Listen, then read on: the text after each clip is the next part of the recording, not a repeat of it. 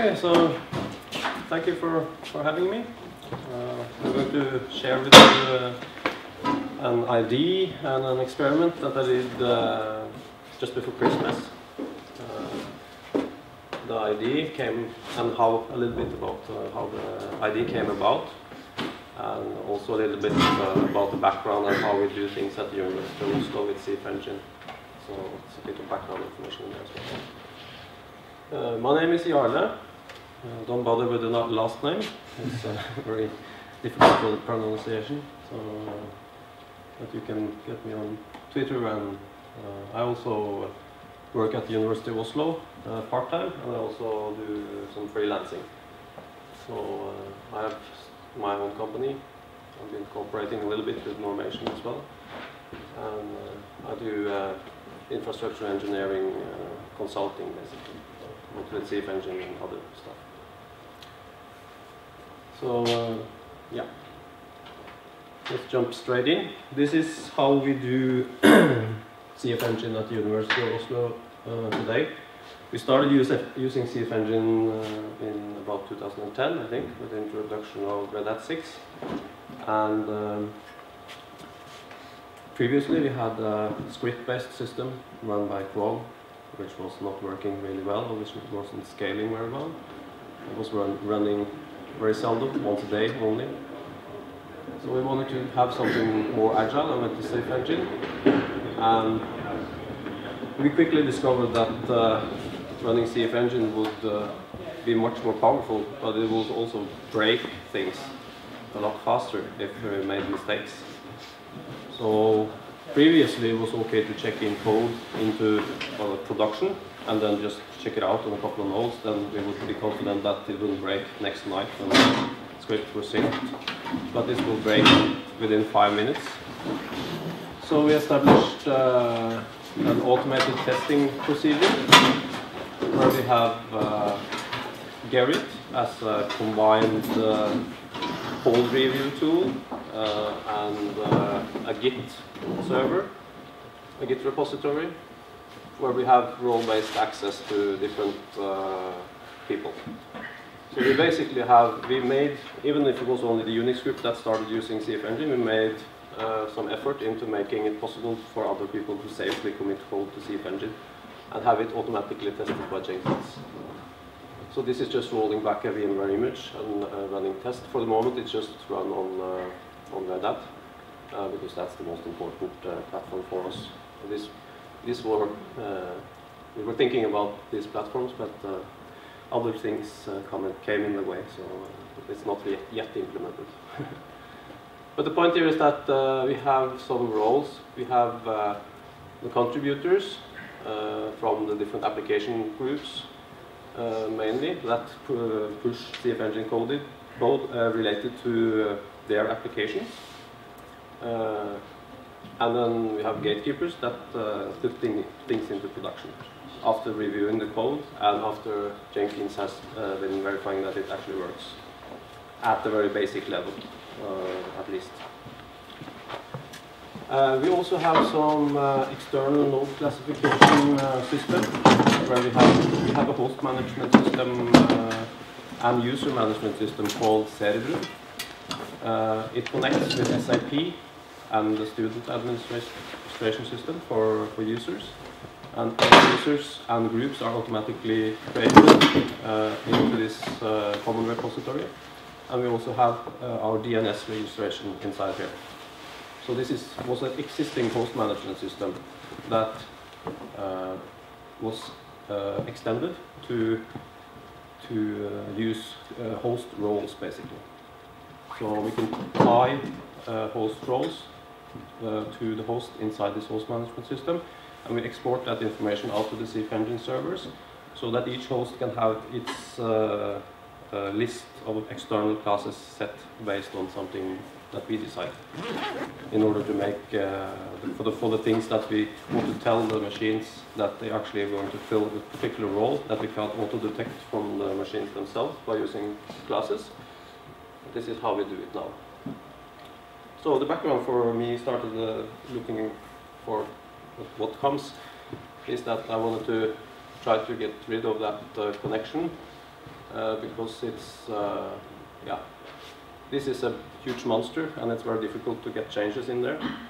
So we want to, to liberate the host roles, uh, or I wanted to, to, to look for opportunities to liberate the host roles away from Cerebrum and rather create something like this with some role-based access uh, connecting to LDAP and uh, Redis database and having uh, the agents using ZeroMQ to ask for their list of external classes based on what's defined here.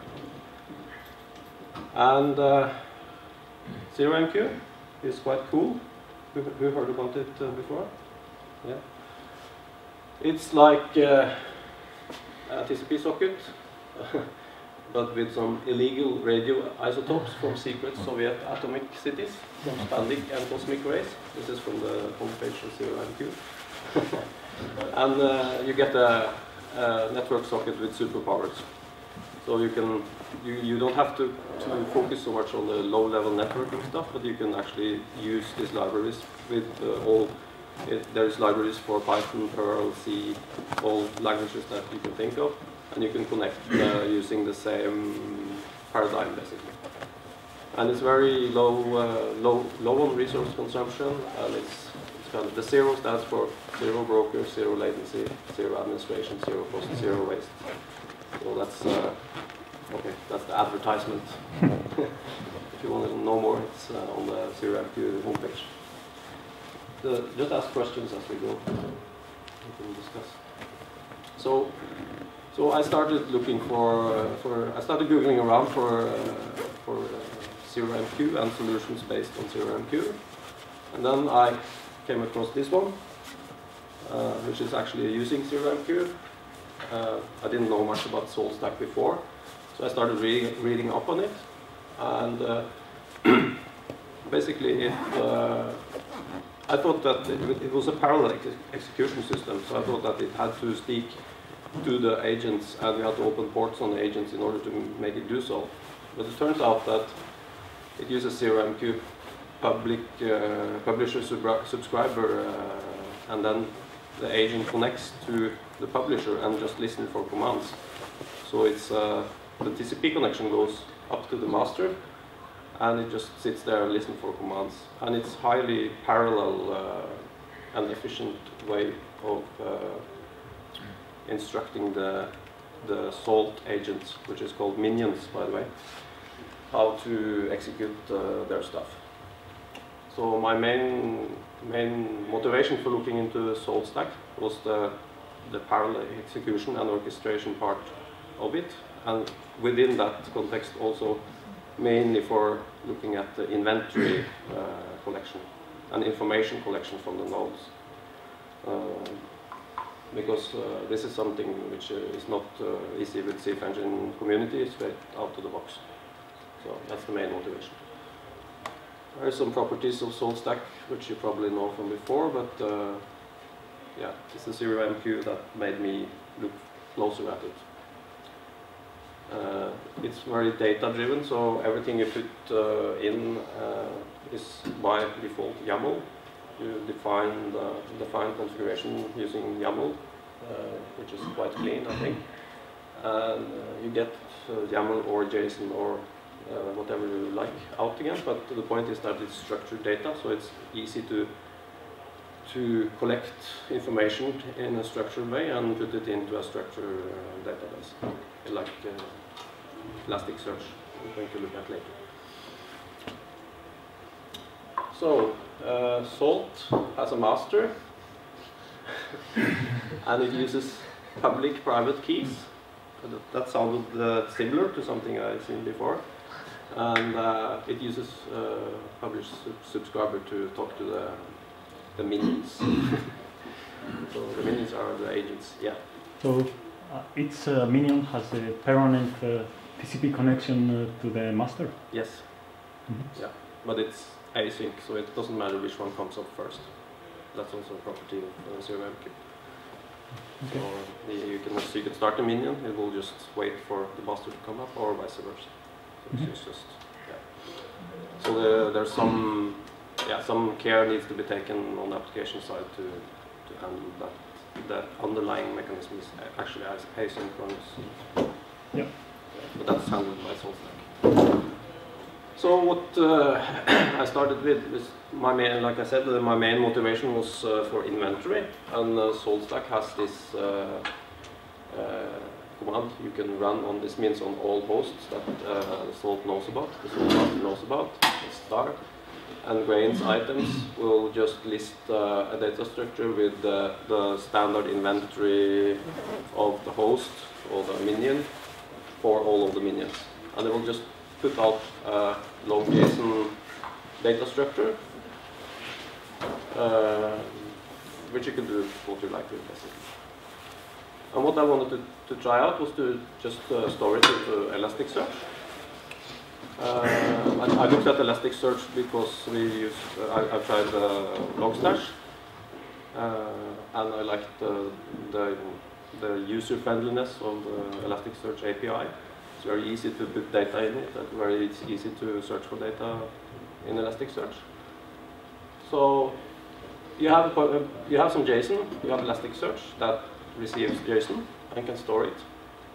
So it's just a matter of creating a little bit of glue uh, that uh, reads in this JSON from standard in, in this case, and use uh, some web client modules in Perl to just put each host object into an index in Elasticsearch, and then all of those grains items will then be stored underneath that object in Elasticsearch.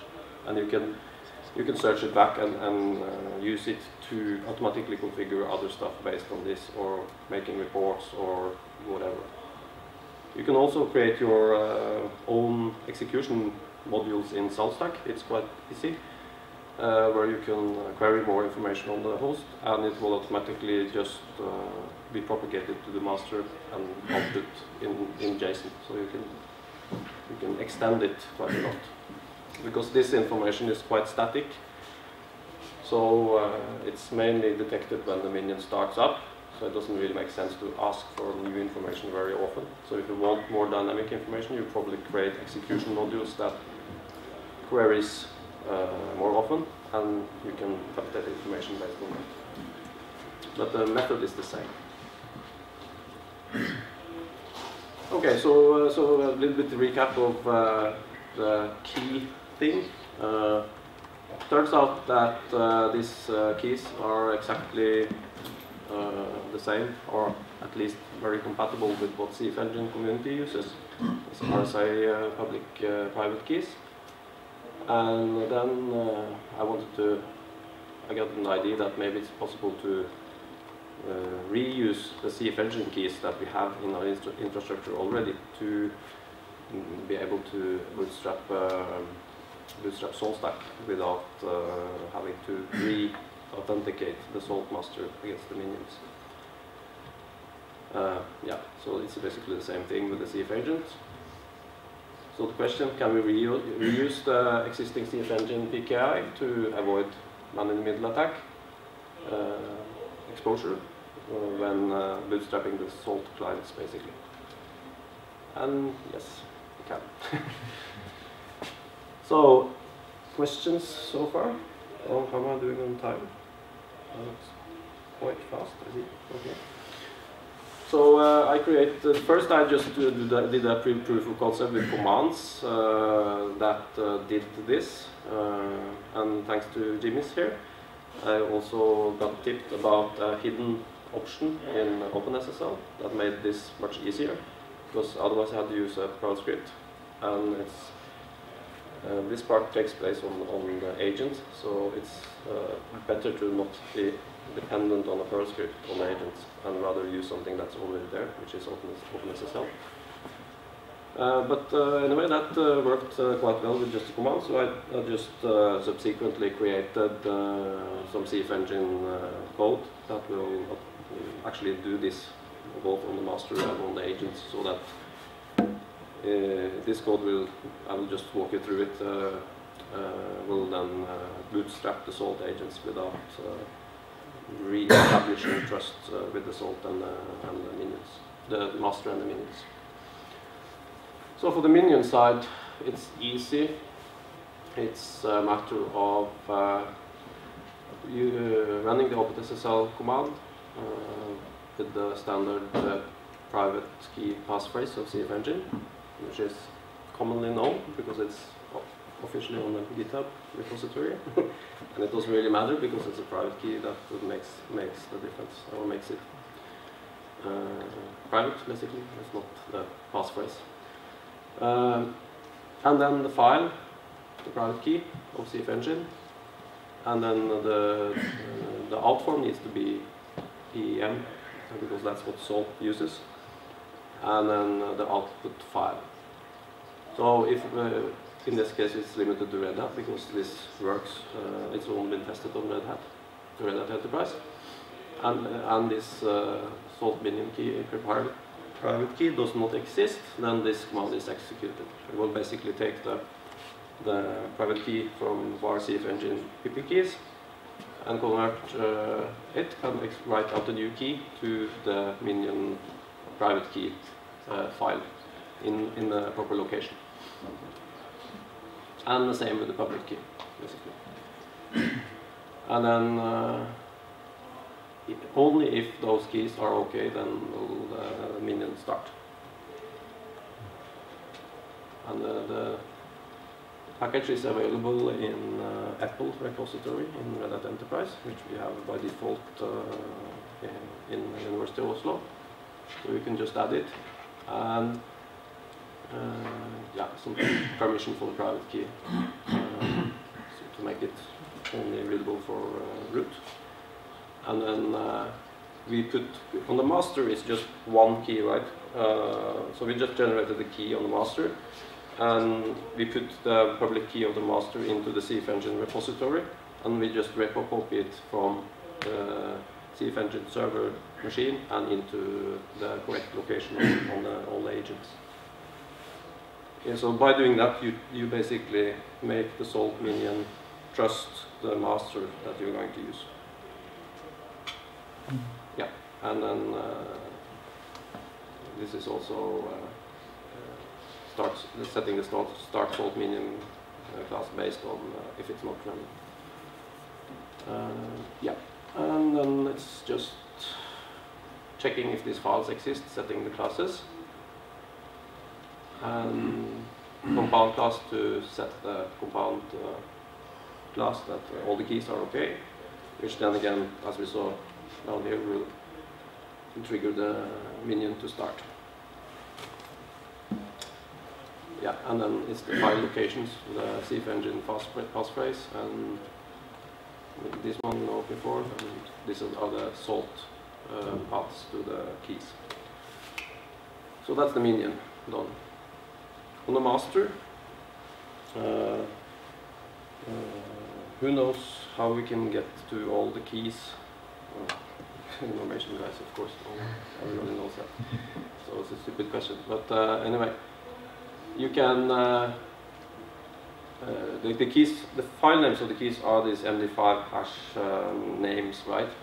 But the mapping between the host names and MD5 hash names is uh, can be done by using this command.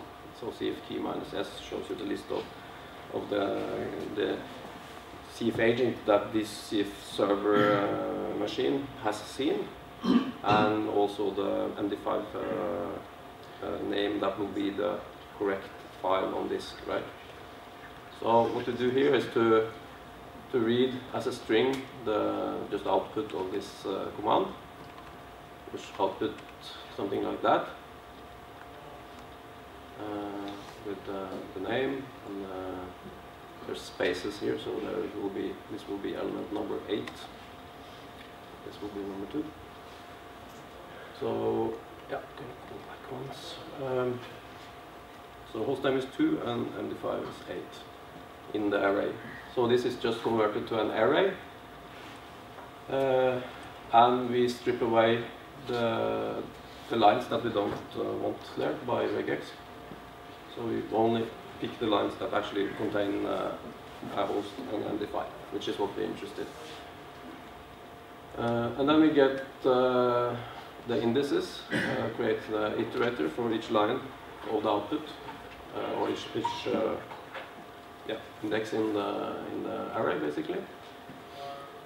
And we need to, because later we'll see that we need to do something when this key does not exist, and then we need to pre-canonify all the uh, host names. Uh, because it's, uh, you can't say not canonify and then uh, when, when you use if var class. We will see that later. So that's just a workaround, basically. Yeah, and then there's some paths to, to the key, key locations and the OpenSSL commands. And then there is the classes that is set if the if the key files uh, doesn't exist, then we use the uh, the whole we iterate uh, over the over the S list that came out of the indices of the array. Uh, so all elements, basically, all the lines in the CF key minus S output is iterated over. And then we look at uh, the second, which is the host name. And if this uh, file exists that is named in this directory with this name that matches this uh, second element. If it exists, uh, then the class is set, basically, and it does that for all the classes. And it uh, adds the salt master uh, package. Uh, and then it uses the same iterator to run for each of, uh, of the elements in the open uh, in the um, CF key minus S output.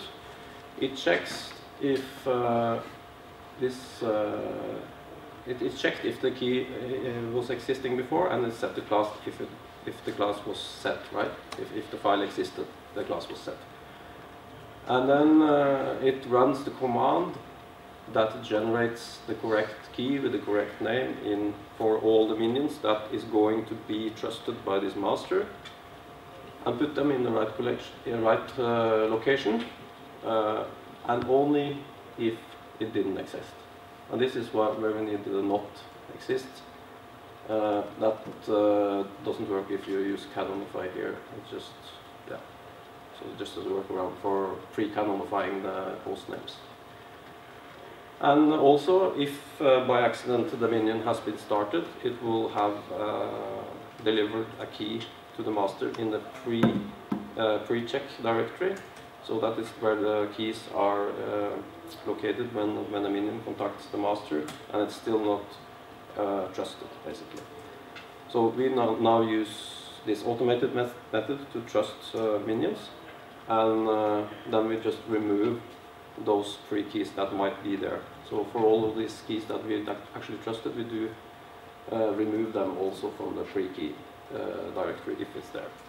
So because that can actually uh, create mismatch. Uh, if, if it's on both places, it will be not trusted. So, yeah. so a list of keys. Sorry for mm. interrupting. No, no, no. I don't know this the source like. Yeah. So for each key requesting to be accepted, yeah. it's been stored somewhere. Uh, and yes. once it is accepted, yeah. it's removed from there yeah. and stored elsewhere. It's a command for accepting keys. Yeah. Uh, and you the manual procedure of doing this is that you check the key based on that you logged in on both the agent and, uh, and the server, and you match the, the checksums of the keys. And you uh, check the, the, it has not already been accepted because it's in the directory of mm. only the ones that requested. Yes. Yeah. Oh yeah, that's uh, pretty good actually. Yeah, it's pretty good. Maybe that's so it won't be accepted unless mm. you use uh, salt key to mm. accept it, and then what happens is just that it's moved from that directory to the directory that we put these keys in. That's uh, that yeah. sounds nice. Yeah, it's uh, it's quite neat. Yeah. And just some report uh, if we needed to generate uh, keys. Basically. So that was quite fast actually to walk through, but uh, we have time for questions. I have some backup slides if we don't have any questions. um, yeah. How many hosts are uh, how many minions are are in your setup? And uh, Well, we plan to use it uh, on all the CF agents, and that will be around 1,000. okay. I will, I'm quite curious 1,200. On the performance of zero and zero as well. Yeah, And uh, Uh, we, we haven't done it yet. We've just uh, done the proof of concept. So we, we plan to use uh, this uh, on the, because we have now C- three CF engine servers, Yeah. which is uh, why I have made some extra. Uh, well, this is two then, but we added the third one just recently because of scale. And uh, of course, if you do this uh, procedure on all those servers, you, what we do is the standard CF engine way of uh, kind of selecting the primary server uh, Mm. based on uh, select class, uh, connect, contacting either that server first or the other ones first, and then vice versa, falling back to the other one. Uh, and that means if you do the CF key minus S on this server, you will get half of the hosts, right? Yeah. Which you can command from that server, and half of the hosts, or one third in our case now, that we can command from each of the engine servers. And you don't really know which ones you can command from. So you have to, uh, if you're going to not do this, then you would have to do it on several machines. But it turns out you can use uh, something called Syndic, Salt Syndic. Uh, if you then install Salt Syndic on each of the CF server machines, you can use a Syndic master that talks to each of the Syndics, and then you can get a unified view from the Syndic master and It's like access a- everything from there. like a super hub, let's say. Yeah, it's like a master or master or a super hub or something. Cool. Yeah. So So, yeah. The salt syndic uh, also summarized the, the, the keys from the, the clients. The Salt Syndic needs to trust the the uh, min, uh, the minions of these ones so that they can forward commands. I think it's a it's, it's not a minion. It's actually the Salt Syndic is a minion-ish thing that runs beside it, but it, it's the one that so it's just a matter of exchanging keys between a few machines.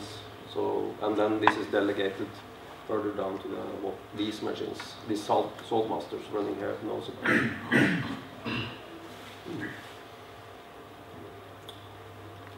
So, unless there is more questions, this was my little thought experiment. Okay.